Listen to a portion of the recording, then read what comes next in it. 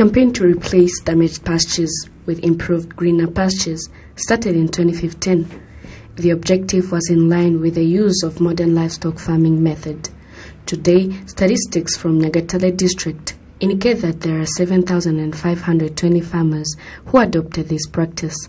The farmers in this district have said that they have started to see changes in their livestock farming.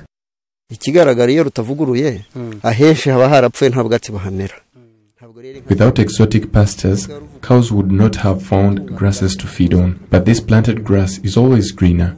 And for non modernized pastures, you would find that a farmer owns 10 hectares of land, but only 6 hectares get grazed on.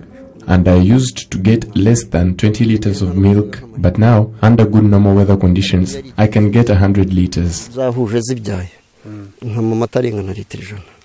Though there are farmers that got their pastures replaced, there are others that didn't replace their pastures.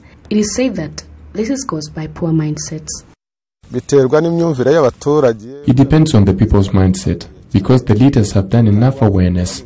The one who has not yet done it is because of their mindset, but we understood the way of replacing our pastures with the exotic one because grasses grow well as well as increasing milk production. Nyagatare district officials have said that the replaced pastures have been productive and the sensitization is still ongoing, as explained by Rurangwa Stephen, the vice mayor in charge of economic development in Nyagatare district.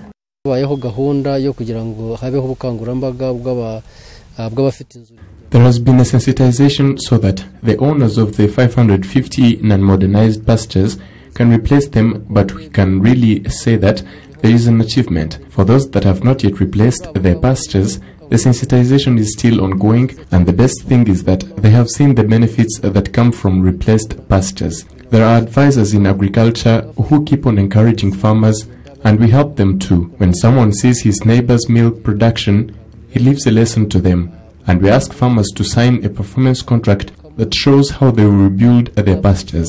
tubasaba yuko basinya imihigo tukagaragaza kuvugurura amatungo ariko noneho no gukorera inzu Since 2014, mindset was a big hindrance to the implementation of pasture replacement project in this area, but success stories behind this initiative have seen improvement to the adoption of replanting new pastures for greater benefit to livestock farmers.